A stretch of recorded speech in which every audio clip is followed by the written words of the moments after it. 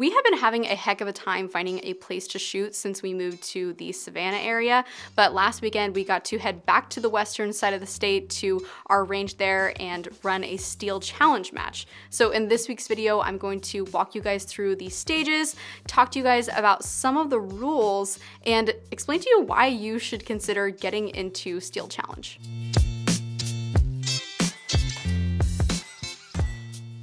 Simply, Steel Challenge is a static shooting competition where shooters engage steel targets.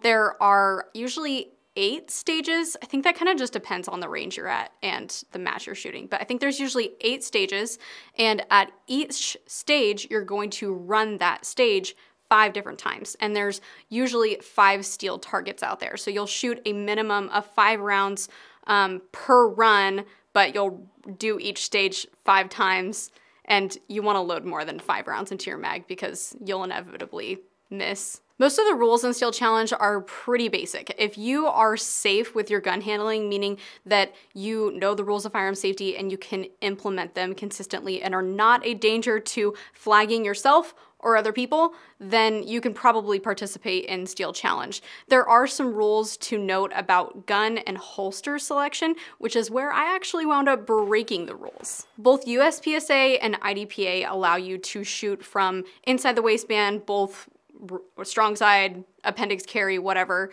And so I just assumed that you can do that in Steel Challenge. But sure enough, they have a super duper great rule that does not allow you to do that.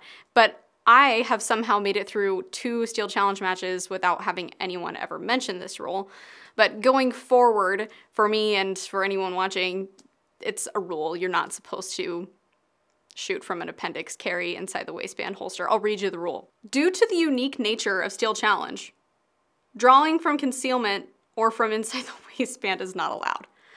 I would be really curious to see like what is the unique nature of drawing from a holster in a range setting and engaging steel targets. Like what I don't understand what's unique about that. Outs like that's different from literally any other context in which you'd be competing or shooting at the range in general. So hopefully they'll change that rule. All of that sass put aside, I actually had a ton of fun shooting Steel Challenge, and I think that you should consider getting into Steel Challenge as well because it creates an environment where you are wanting to test yourself. You're timing yourself, you're getting an idea of how accurate you can be when you're kind of stressed and feeling a little bit under pressure with people around you.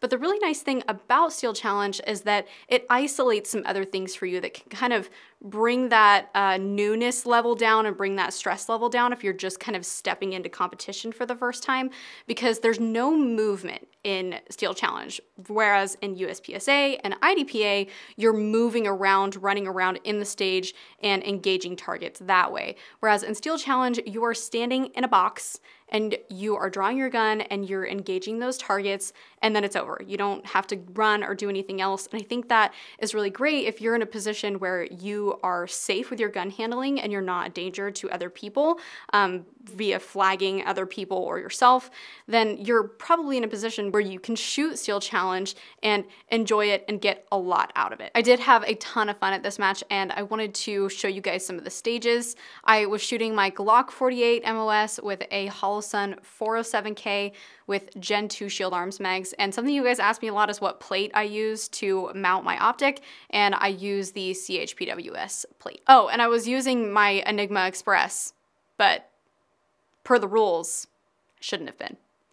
So in Steel Challenge, there's those five targets out there, but one of them is the stop plate, which stops your time, kind of like the eight ball in pool. You don't want to hit it until you're finished. On this stage, the eight ball was the circle steel right in the middle. I am by no means a grand stage planner, but I wanted to start with the large square plate right in front of me because the first round from the draw can be the most challenging. So I chose the closest, largest target. Next was the circle to the left, and then I transitioned to the furthest square target and worked my way into the stop plate from there. You'll notice that I dealt with a lot of malfunctions through this match.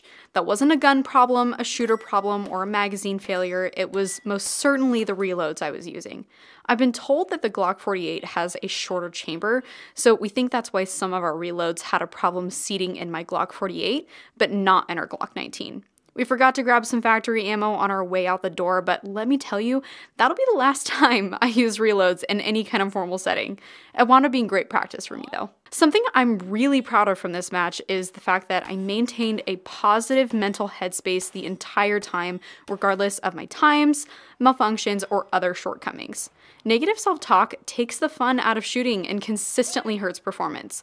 Maintaining a positive headspace makes the entire experience way more fun, and I think most people find that they shoot better when they're not in their head. Thanks for watching this week's video, and let me know down in the comments if you have tried Steel Challenge or any other shooting sports, and if you haven't, what exactly are you waiting for?